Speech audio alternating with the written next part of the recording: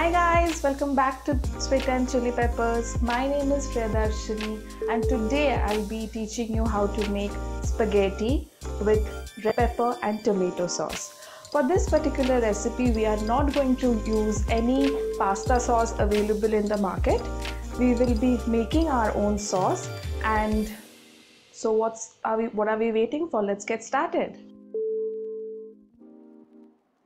First things first, we will boil some water to boil the pasta, adding some salt for seasoning. Cover the water so that it quickly boils. And in the meantime, let's chop some veggies. Starting with onions first.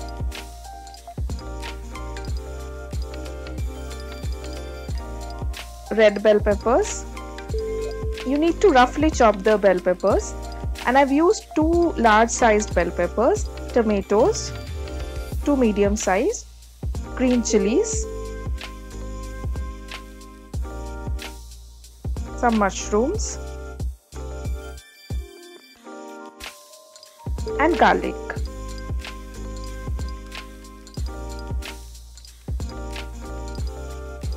So these are pretty much what we need for as the ingredients. We have bell peppers, onions, tomatoes, green chilies, garlic and mushrooms of course. In case you don't have red bell peppers at home, do not worry. Just increase the number of tomatoes and you make, can make a very yummy sauce out of it. And in the sauce, we are not going to use many different things. We are only going to use bell peppers, tomatoes, green chilies, and the garlic. It is going to be a very simple sauce. Now the water is already boiled. So I'll add the spaghetti at this point. Please make sure to not overcook the spaghetti at any point.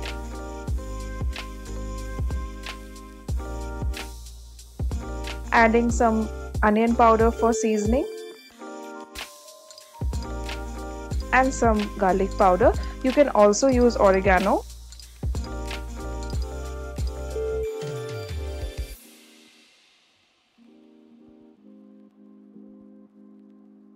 we have to keep this around 7 to 8 minutes and your pasta will be done by then. In the between please keep checking if that that the pasta is not getting overcooked because you will not like to eat that kind of a pasta. Now i think more or less my pasta is done. So now we will go directly to make the sauce.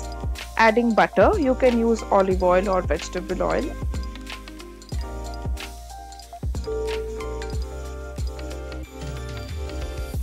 and to the butter directly I've added garlic, chilies, red bell peppers and tomatoes and nothing else. Adding some waters because we want to boil everything. So I'm covering it for now. You can also do this in a pressure cooker or you can blend it but I want some chunks of tomatoes and bell peppers to be there so i like to do it this way but if you want to do it fast you can easily do it uh, in a pressure cooker or a blender. I've added salt and red chili for some little bit of seasoning. Again covering it.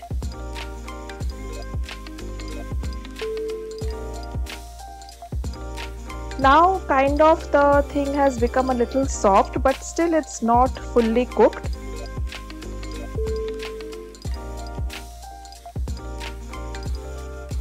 So what I'm going to do is I will transfer it to another burner and in the meantime I will work on the other veggies to save time.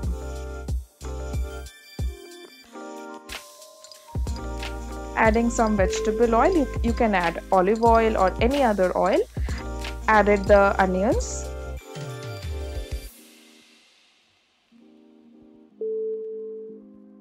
Saute them for a minute or two so i'm making a i made a corn flour paste uh, for the sauce and i've added it in the sauce to make the sauce a little bit more thick and it, to give it a nice consistency.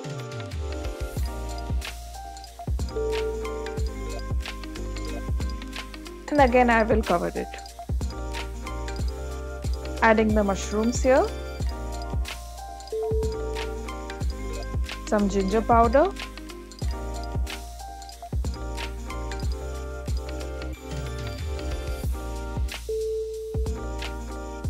The mushrooms and the onion will not take much time to be cooked. I'm adding a little bit of tomato ketchup to the sauce because I want a little bit of that sweetness because uh, I've added quite a few green chilies because I like that spicy taste also but to balance it I've added tomato sauce.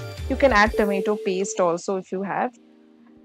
So now the sauce is kind of ready and to the sauce I'm adding the mushroom and the onions.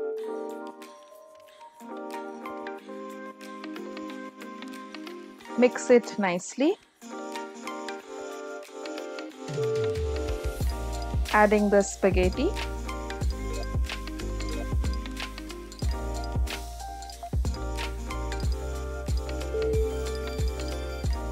Mix it very well so that you know you're coating each and every strand of spaghetti with the sauce for to finish it off I've, I've, added a little bit of chili flakes. You can add oregano also. And yeah pretty much my spaghetti is done. I am just plating it now. So that's it. We don't need to do anything else. And if you like to add oregano and other Italian seasonings you can very well add it. I don't like them so much so I like to keep very simple and minimalistic taste to the spaghetti. And yeah if you like the uh, the video and if you like the different kind of recipes i do then please consider subscribing this channel and give a thumbs up. I'll see you next time. Bye